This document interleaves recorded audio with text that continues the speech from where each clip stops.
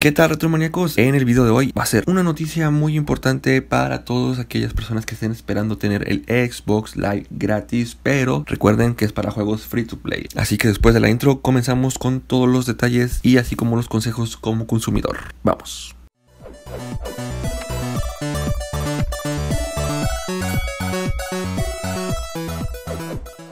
Bueno muchachos, esta es una noticia acerca del Xbox Live gratis en juegos free to play. Recordemos que hace unos días se venía rumoreando la posibilidad de que los juegos free to play no requerirían de tener la membresía de Xbox Live para poder jugar este tipo de juegos. Recordemos que ese tipo de juegos es posible hacerlo de forma gratuita tanto en plataformas como PlayStation y Nintendo. Pero ahora es algo oficial en Xbox. Microsoft comienza a eliminar el requisito de pago de Xbox Live para juegos gratuitos desde que se anunció, los jugadores de Xbox han estado preguntándose cuándo se comenzará a eliminar los requisitos de pago de Xbox Live para juegos free to play. Ya se nos había dicho que pronto los propietarios de Xbox pronto no tendrían que pagar una suscripción a Xbox Live. Tal parece que esto está más cerca de lo que parece, debido a que las últimas actualizaciones del programa Xbox Alpha Insiders Update Preview ha cambiado empezando a eliminar el requisito de pago de Xbox Live. Según señala en las notas de esta actualización,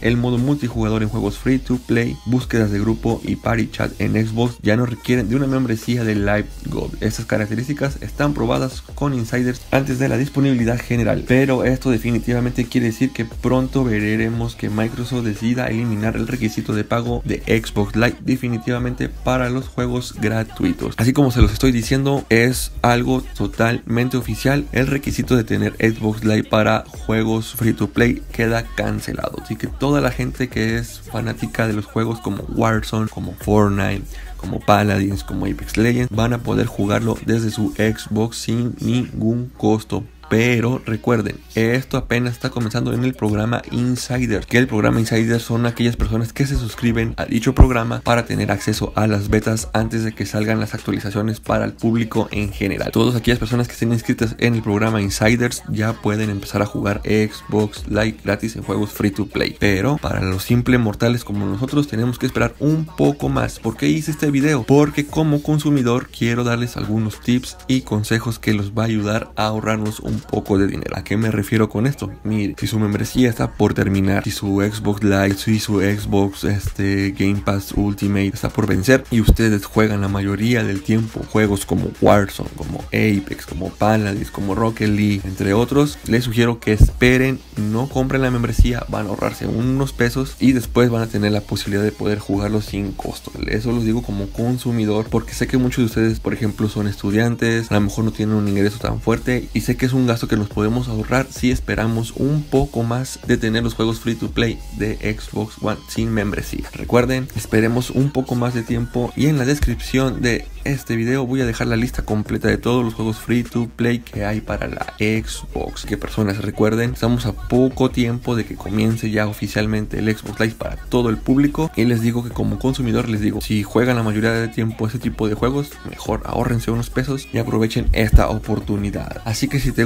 que hagamos este tipo de noticias, por favor házmelo saber, dime qué otro tipo de videos te gustaría que hiciéramos, deja tus comentarios, deja tu like, suscríbete si quieres recibir más noticias y nos vemos en un próximo video. Mm, bye.